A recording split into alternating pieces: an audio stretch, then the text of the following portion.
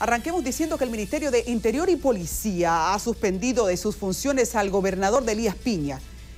¿Cuánta preocupación hay en Elías Peña con este expediente que puede irse bastante lejos? Mientras elabora un informe sobre su implicación en un incidente en el que un primer teniente del ejército y una mujer resultaron heridos. A través de un comunicado, la institución constituyó una comisión que deberá rendir un informe sobre los acontecimientos. Según los informes, el primer teniente Rafael Encarnación Adames y María de la Rosa Encarnación resultaron heridos de bala tras una discusión con el gobernador. En el colmadón conocido como Bar Las Tres Cruces, en el llano de Elías Piña, el funcionario guarda prisión desde el pasado domingo ante todas las especulaciones que esto puede generar, las críticas, por supuesto, un representante del Poder Ejecutivo al que no se le puede atribuir excusa por los niveles de violencia que aparentemente exhibió en esta situación.